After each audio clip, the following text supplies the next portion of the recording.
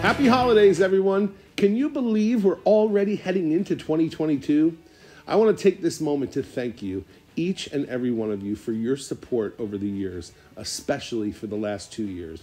We had a very successful season in 2021, and I promise you, I'm putting together a killer lineup for 2022. And I promise we will be here ready for you to deliver the dynamic musical theater we've become famous for.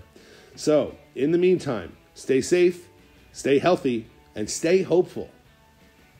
Oh, I almost forgot. The new seats are in. See you soon.